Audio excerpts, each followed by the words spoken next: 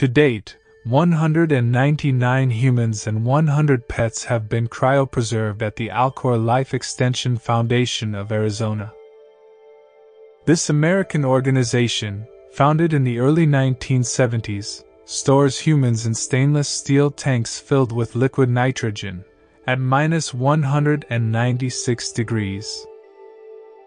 These people have died of terminal diseases that today have no cure but their loved ones have decided to freeze them in the hope that in the future, thanks to much more advanced technology and medicine, they can come back to life.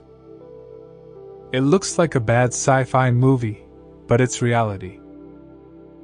Cryopreserving a body costs $200,000, while preserving just the brain costs $80,000. Currently, 500 people from all over the world have decided to trust Alcor.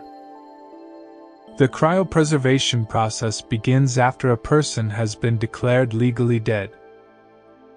The process used to preserve corpses is vitrification, which involves removing blood and other fluids from the patient and replacing them with chemicals designed to prevent the formation of harmful ice crystals.